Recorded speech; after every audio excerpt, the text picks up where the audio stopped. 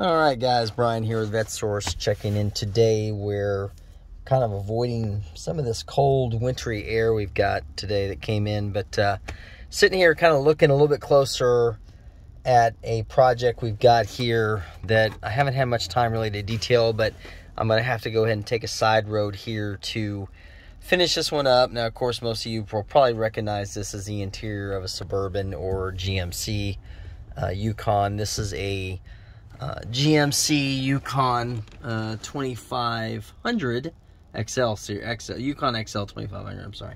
So anyway, uh, this is uh, yet another one of those um, throwaway cars, thrown away cars that I picked up uh, that often get discarded when they start to have problems and people just throw them away because they don't know any better. Now, of course, you can see this one is in the corporate GM white. Uh, good looking truck. Um, really, like you saw there as I was painting around, still in really good shape. Um, what happened with this one, of course, again, 2500 series, uh, 8 lug. Uh, this has also got the motor that a lot of people wouldn't, didn't realize they installed in these was it's got the mighty 8.1 496 cubic inch that I detailed a few weeks ago or last month I did a video talking about this uh, 496 and that is specifically why I bought the, that crate engine was for this truck. Now this is one of the 2500 series Yukons and Suburbans. The 8.1 was an optional package so if you ordered the uh, 2500 series Yukon or, or Suburbans you ended up with the 8.1 496 the 49 the Allison transmission would not fit in this chassis because they couldn't do the body lift on them. So instead it got the 480E, but it also did get the GM. I'll see if I can show you guys. It got the heavy duty GM 14 bolt corporate axle, which that's probably one of the best axles General Motors or anybody's ever made. It's really dependable and a lot of stuff. The other thing these also got was uh, dual fuel tanks, which want to say it was around 33 gallons, 32 gallons. One's 26 and one's 6 or 8. I can't remember. So it's got dual fuel tanks, of course, obviously the 8 lug axles, everything. Now, we talked about in that last video that I mentioned, I brought up the 8.1 about durability on these things, and I figured what we do is we'd have some fun. So this truck here, there was really no reason it should have failed. Um, it was right at 211,000 miles when it dropped the number one rod. Let me climb under here and I'll show you guys what happened to it. It actually windowed the number one rod through the oil pan. And you can see it.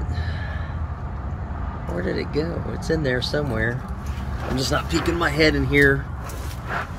Uh, enough. I could have swore it was a number one, but for some reason I seem to see that one's still connected or else I'm just missing something.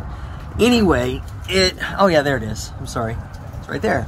So it basically separated the number one and dropped it through the oil pan, punched a hole, and, you know, burned up the motor, messed it up. So anyway, now, the reason why this happened, and of course, if you're looking in here, you'll see how clean everything is in here.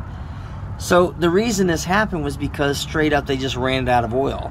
The one thing about these big block Chevys, all things being equal, is that they do use oil. They'll use about a quart every thousand miles. So whoever was the current owner of this vehicle at the time just did not realize, didn't even bother to check it for oil, and they ran it out of oil. So they dropped that rod there, ruined it, and uh, this truck, when I found it, was being um, the gentleman had bought it, of course, when it was damaged, and had decided he was going to make a diesel conversion out of it, which uh, not not really the best option for a truck like this because it's got an 8.1 and it's got quite a bit of um, desirability as far as that goes. So anyway, I ended up buying the whole truck from him uh, when I saw it because I knew what it was, I knew what I was looking at, and decided let's do it. So what we did was we acquired, luckily, this other crate engine that I talked about in the video. Um, that was the Marine version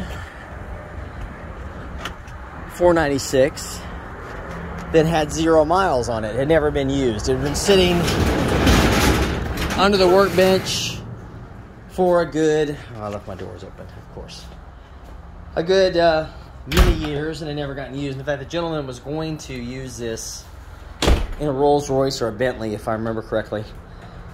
And then it was bought by some gentlemen that were going to put it in a boat, and then they didn't, didn't want to use it. And then I picked it up when I saw it because I realized it was brand new. So what I figured we'd do for fun, uh, I've got, like I said, I got to take a side road. I need to get that Yukon finished up, and I'm right at the very end of working on it.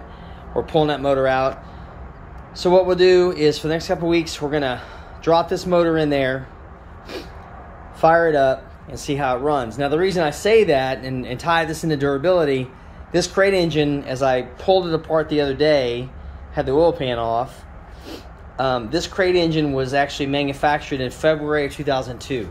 And all it's done is sit around. It has not been turned over, has not been touched. Nobody messed with it. So I'm curious to see, you know, with the service life of these being uh, around 20 years, I'm curious to see what it'll do once I put it in there and fire it up. Now, I briefly mentioned the other truck that I put back together last year, the O2 Crew Cab with the 8.1 where they had torn it apart chasing transmission, what they thought was transmission issues. And that truck actually, that motor had been sitting in the bed of the truck for probably a year and a half, and the transmission beside it. And I put it back together and it fired right up. So I think I know what'll happen with this, but I'm curious to see what a 20 year old crate engine will do. Now, I'm not going to do anything special prep other than what I would normally do to put an engine back in a vehicle. But uh, curious to see what happens. You guys can let me know what you think is going to happen in the comments. Now, of course, this marine engine is not going to direct go or install into this without me doing a few things. So that Yukon is a 2004. This is a 2002 engine, and it's a marine version. So you'll notice immediately the intake manifold is painted black. Of course, this is just to protect the aluminum components from uh, saltwater spraying or things like that. The other thing too is that this has a uh, return line on the fuel lines, whereas the 2004 does not. So we're going to have to swap this fuel line.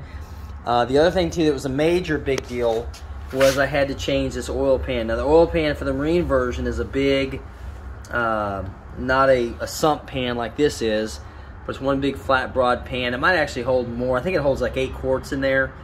And of course the pickup tube was different as well. Actually I have pick up the old oil pan not oil pan, but oil pump in there. So I had to go ahead and get a brand new oil pump and pan for this. I was trying to shoot that on video, but it really didn't work out very well. Uh, but what's going to happen next is the other thing that's different on this versus the 04 is the marine versions, I guess, have a different timing profile, probably because a little bit extra horsepower. Uh, I, I, need to dig a little bit deeper into them, but they have a different cam um, sprocket and a different uh, crankshaft sprocket.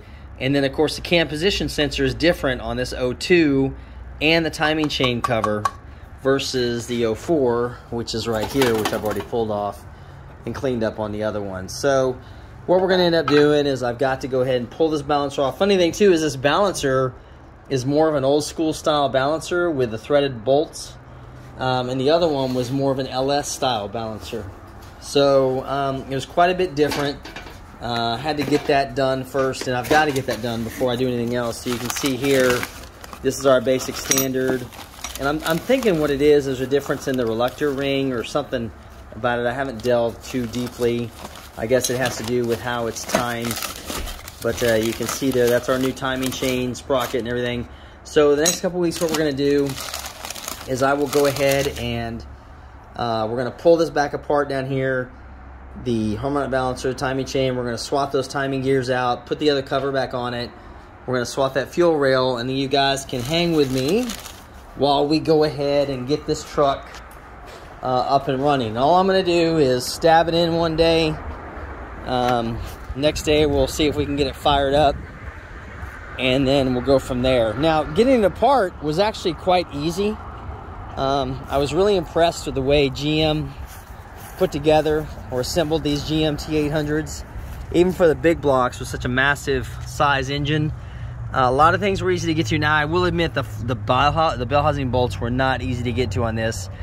Whereas on the dually over there in the corner, where I had a two inch body lift and I had enough room to get in there. On this one, I did not have very much room to get in there. So it was really tight to get my hands and extensions up in there to get that done. This motor was actually really clean when it was, uh, when they dropped the rod on it. So it was really kind of depressing to see that they'd done that to it. But again, it happens. And again, you've got a truck that really was a, a, a high, high desirable unit with a lot of power and a lot of things that'll work on it, and then they just threw it away. It basically went through uh, one of the uh, insurance auctions. No, it's funny. It went through the dealer. The dealer threw it through an insurance auction or a dealer auction, and um, of course, it did not have a salvage title because it wasn't, you know, mechan well, it was mechanical damage, but it wasn't a salvage car because it never been uh, run through the system that way. So it came out of there with a clean title still. And what we'll do, like I said, I'll put this back together again and uh, if I'm lucky, I'll drive it long enough for them to just cart me off in the retirement center with this thing because it should hold up very well. You can see it's really clean. If you've never driven any of these mid-2000s Suburbans and Yukons, they're really nice. I've had one, a 5.3 for a long time. They're really actually good vehicles. So just want to give you guys an update what we're doing here. Uh, this will be probably our side road project for the next few weeks. So that's going to wrap it up today. Nothing too long. I just wanted to give you guys uh, little update on what I've been up to. And uh, I'll be back next week with some more videos. Probably put these out a little bit quicker just because I'm going to get it done quicker. And uh, we'll talk at the end. If you got any uh, ideas for me or things you'd like to talk about in the 8-1, let me know down in the comments below. Talk to you guys then.